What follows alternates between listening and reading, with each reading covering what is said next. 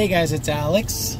So, I think today is uh, July 23rd, 2018. So, about a month ago, I put out a video talking about potential vehicles that I'm going to purchase or I might purchase to replace the Genesis. Subsequently, that kind of went away because I didn't want to basically pony up 20 something thousand dollars cash for a Boss 302. I didn't want to pony up that same amount of money for a 2011 to 2012 GT500. I didn't think it was worth it to come out of pocket that much if it made financial financial sense as much as as much financial sense as it can make i am going to take a hit on the genesis because i've only owned it a year and i have put close to 50000 miles in that year driving back and forth from west palm beach to new smyrna beach but the 2018 mustang also didn't really make sense because the initial starting price was a little higher than I was willing to come off of. I, you know, after after it was all said and done, the what I would be financing was insanely above what list was. So I forgot about it. I was like, see you later, forgot about it. Started to get reacclimated with the Genesis, bought new tires, did everything to have it live a healthy, long life. Then I get a call all of a sudden 2019 Mustangs are ending up at Ford lots. And there are a lot of leftover, quote unquote. I mean, it's July and it's crazy how fast Ford wants to pump out the new Mustangs out there.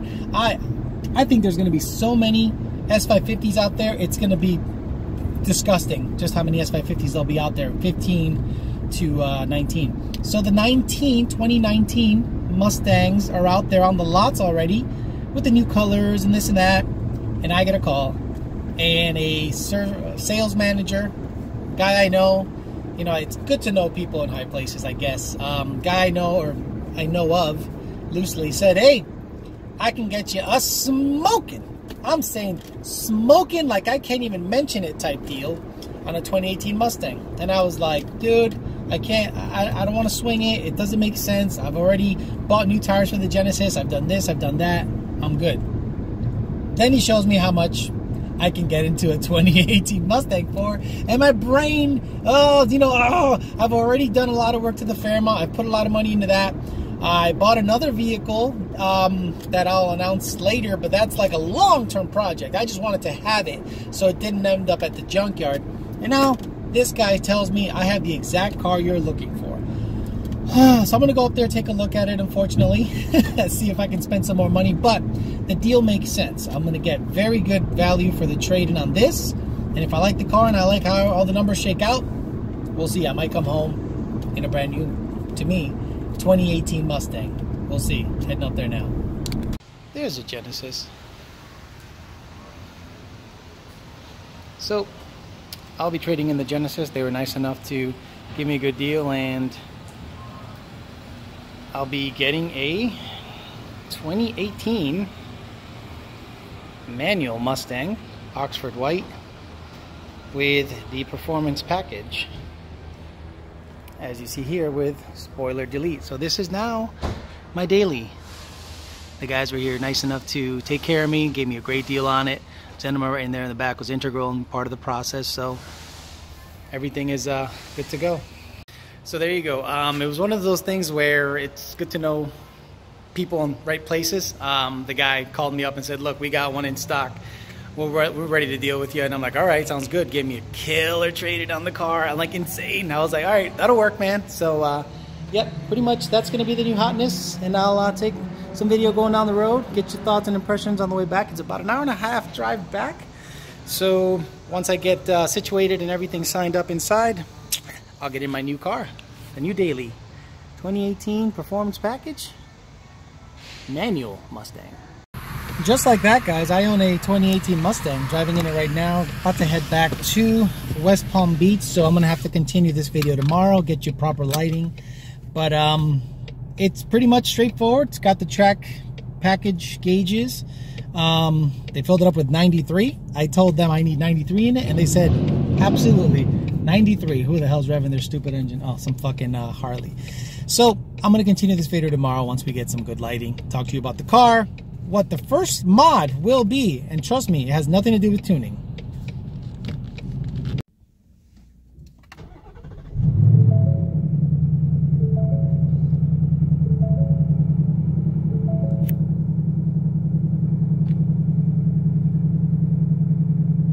Hey guys, it's Alex, and yes, I took the plunge and bought a 2018 Mustang. Now, I am gonna mod it right away because every manual Mustang needs this mod done to it ASAP. And I have my little shitty ass garage here. And I'm gonna show you guys if you have an MT82 equipped 15 and up Mustang, hell, even an 11 to 14 Mustang, this is a must do immediately. You must do this immediately and it costs nothing and it does a ton for how the car drives. So let's get to it. So I bought myself an MT82 equipped performance package Mustang. and a lot of you know, uh, if you've driven these cars in stock form, the clutch feels weird, okay? So what I'm gonna do is what every Mustang owner should do that has a uh, MT82 equipped Mustang and is take the helper spring out way up there. If you push on the helper spring, actually if you push on the clutch, there's a helper spring up there. Let me get the uh, light up there. Hopefully that'll help. There we go, we got a light. We have light now. Yeah, like my rusty tools. They're hand-me-downs. I'm cheap. So this guy right here, that helper spring needs to come off. Why?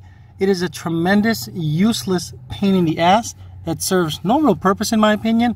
So in order for you to get that sucker out of there, you have to pretty much collapse that spring and slide it out because honestly, it does nothing in my opinion for throttle feel.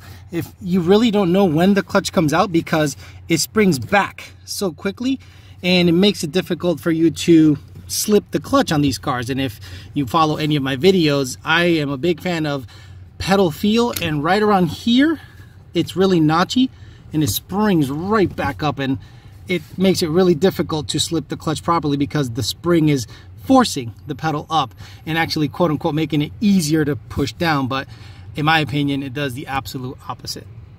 And here's the mechanism. So what I did was I basically went up in there I collapsed it and I twisted twisted left and right and it's literally held down there by force. It's not held down there by any kind of bolt or anything. It's literally held down by force and a notch on the you know on the pedal assembly. Take a look now See that little so now you don't have that weird springiness that would happen somewhere in the middle and the clutch is going to feel more linear. Uh, if you own the Fox body back in the day, it'll feel like an old school uh, Fox body when it comes to clutch engagement. So first mod that needs to be done on every MT82 car is helper spring out of there. So a couple of things I noticed right away, and I forgot about this. Um, I have like a tall torso, and this car, compared to the Genesis, which is not really a comparison, is a lot shorter in height, like than the Genesis. So I'm literally all the way down on the seat, right? And I'm like pretty close to hitting the top. But when you put a helmet on, it, it's when it becomes an issue. But everything else is pretty much straightforward, just like the uh, the red car. For some reason, the red car's leather seats seem to sit lower than this, or maybe there's more adjustment. But the first thing after taking out that stupid helper spring, it is a lot better. I can actually tell when the clutch is gonna come up as opposed to guessing, guessing, guessing. Oh, there it is. So it's just um, something that I like to do to any manual Mustang with the MT82. It needs that helper spring removed because it makes basically the clutch pedal more predictable, for lack of a better word. A lot of people don't even notice that because they don't know probably what older Mustangs used to drive like, and I prefer that feeling over that springy feeling that the helper spring causes. So um, now what I'm going to show you guys is some of the things that these cars do stock that some people complain about. So now, since this is pretty much the first time I've ever bought a new car, um, a lot of people tend to reference tuning, right? They say, well, it didn't do this when it was stock. I had a guy tell me one time, Alex, when I let off the clutch, it revs up. It didn't do that when it was stock. Actually, these things have a thing called clutch assist override, meaning when you let off the clutch, it slightly raises the RPMs to help you launch because a lot of you guys don't know how to drive, and Ford took that into account, and I'm going to show you how it works. Okay, so what I'm going to do is I'm going to put it in gear, and I'm going to slowly take the clutch out, and you can see the RPMs. I'm going to try to get my foot and the RPMs in the same shot. See, I did not rev it up. It went up to 1,000 RPMs or so. Let me see. Let me cross my foot. Let me see. This way. Cross my foot way out of the way and show you. Let go the clutch. And it revs up on its own so you can literally launch the car with the clutch only. A lot of people say, well, it didn't do that before stock. Yes, it did. You just didn't notice it. Again, clutch assist override. That's what it's called. And a lot of people get a little confused because they only notice it. That's the funny thing. People tend to notice things in, you know, after they do something to the vehicle, like, you know, change the calibration or tune it, and they start complaining a little bit about certain things. But these cars have a couple of things to take note because a lot of people don't really pay attention to them until after the tune is put in the vehicle.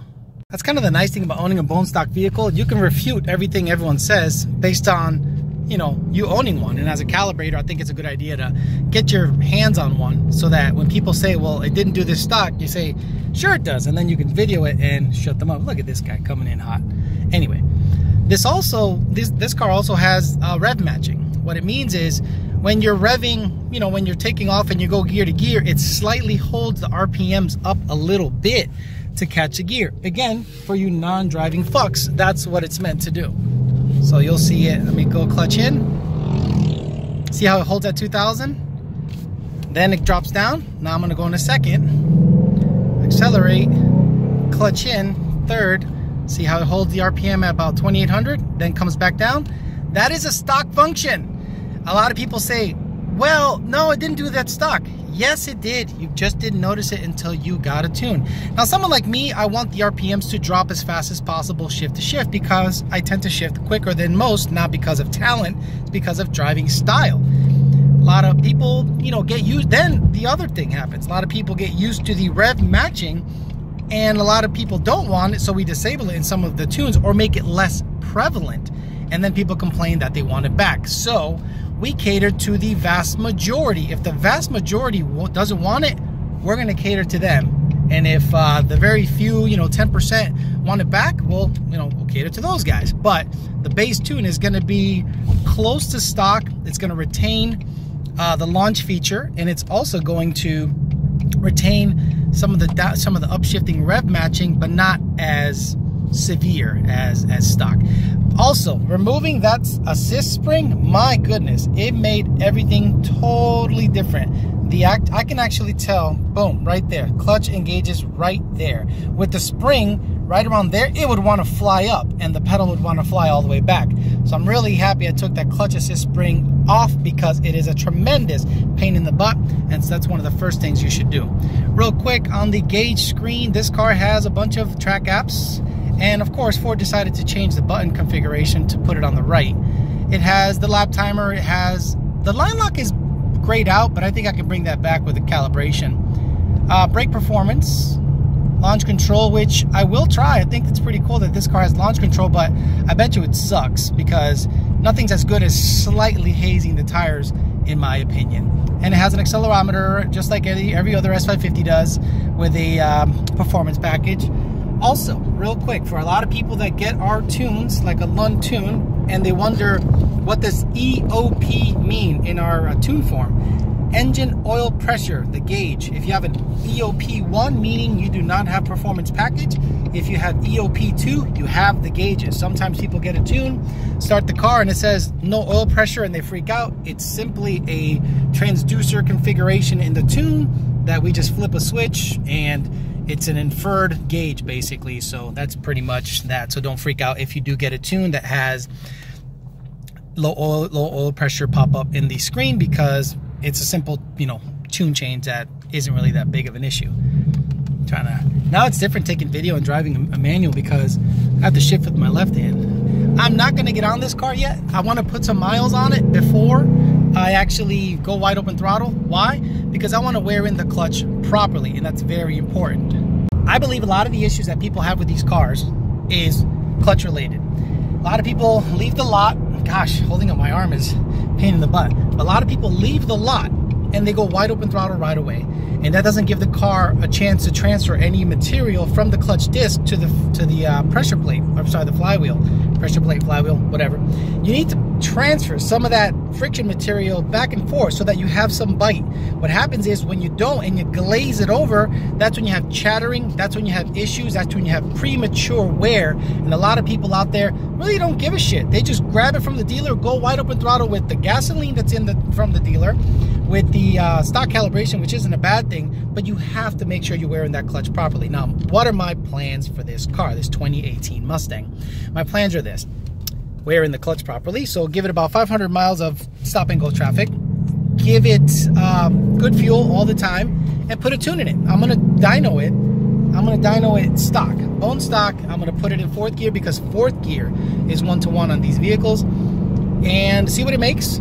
Put a tune in it on the same fuel, see what it makes. I don't think it's going to make all that much. I think it's more dependent on modifications because I think I think uh, Ford did a real good job with these cars, and you don't necessarily need to do a whole, you know, you don't need to do a whole bunch in with pump gas uh, to make a ton more power. You can probably make 15 more, but I'm not expecting 30. It's just not going to happen.